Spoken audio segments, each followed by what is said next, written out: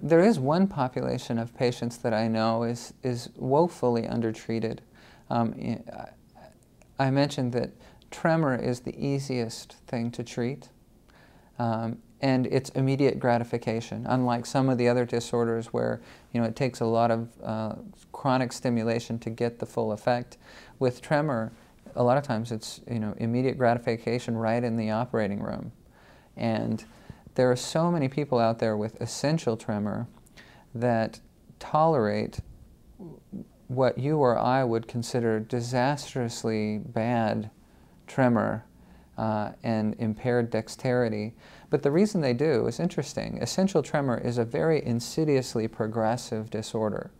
Uh, I mean, they have really, really mild tremor when they're in their 20s and 30s that doesn't bother them. And it gradually gets better or gets worse over the years. Um, but because it gets worse so gradually, they accommodate to it and they get used to having it. And you know, by the time people end up seeking my help with their tremor, they can't do things for themselves at all. You know, it's, it's, it's always the same story. You know, I, I don't go out to dinner anymore. I only eat things that I can pick up with my hands because I can't handle utensils. Um, when I drink coffee, I have to have a lid. Um, I never fill a cup more than half full.